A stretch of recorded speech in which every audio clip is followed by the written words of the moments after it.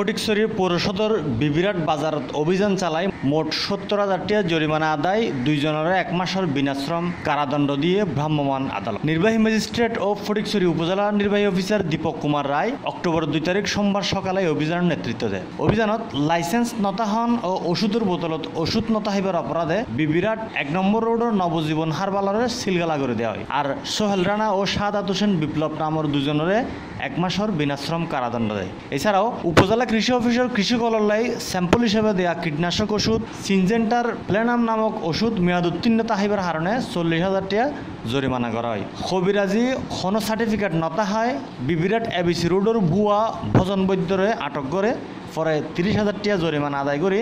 ভুয়া ব্যবসার গত্য নয় বলে মুসলেহালয় ছাড়ে দেওয়া হয়। ফটিকছড়ি বিবির হাটের পরে এক নম্বরে ওইখানে একটা নবজীবন হারবাল একটা দোকানকে সেখানে আমরা অভিযান চালাই এবং অভিযানে চালানোর পর সেখানে দেখা যায় যে ওষুধের যে বোতলগুলো আছে, প্যাকেটগুলো আছে, সেটার একটার ভেতরেও ওষুধের বোতল নেই, শুধু প্যাকেট সুন্দর করে সাজিয়ে রাখা হয়েছে এবং আমরা মনে করি এটা প্রতারণার জন্যই করা হয়েছে। পরবর্তীতে তার কাছে তার লাইসেন্স অথবা নিবন্ধন দেখার জন্য চাইলে সে এ ধরনের কোনো কিছুই আমাদেরকে দেখাতে পারেনি এবং তিনি জানান যে তার মেন ডাক্তার এখানে থাকেন না, তিনি রংপুরে থাকেন, রংপুরে গেছেন এবং অন্যান্য কোনো ডকুমেন্টস বা কাগজপত্র দেখাতে পারেনি। যে কারণে তাকে আমরা বাংলাদেশ ইউনানি এবং আয়ুর্বেদিক প্র্যাকটিশনার অধ্যাদেশ উনিশশো তিরাশি অনুযায়ী আমরা মোবাইল কোর্টের আওতায় নিয়ে আসি এবং তাকে প্রত্যেককে, ওখানে দুজন ছিল, প্রত্যেককে এক মাস করে আমরা বিনাশ্রম কারাদণ্ড দিয়েছি। এরপরে আমরা অভিযান পরিচালনা করি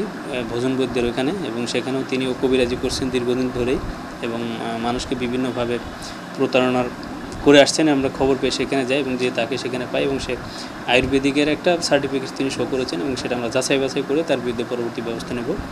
এবং আমরা একটু আগে আর একটা বিষয় মোবাইল কোড করেছি, সেটা হচ্ছে কৃষির সাথে রিলেটেড এবং সিনজেন্টা কোম্পানির প্লেনাম নামক এক ধরনের ঔষধ আছে, যেটা দিলে ফসলের ক্ষতি হয় না বাট সেটা ওই এখানের যিনি দায়িত্বে আছেন, প্রতিনিধি আছেন সিনজেন্টার তিনি আমাদের কৃষি উপসহকারী যে কর্মকর্তারা আছেন, তাদেরকে স্যাম্পল হিসেবে প্রদান করেছেন এবং দেখা যাচ্ছে যে যেখানে মেয়াদটা থাকে এবং মেয়াদ উত্তীর্ণের জায়গাটা,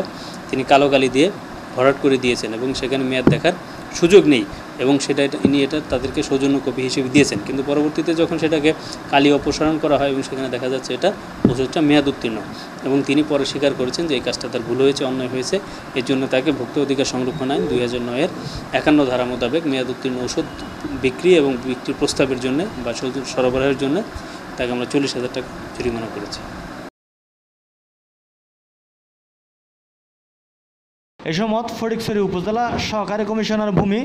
আবু হাসনান মোহাম্মদ শহীদুল হক ফটিকছড়ি থানা উপপরিদর্শক মোহাম্মদ হাবিব সহ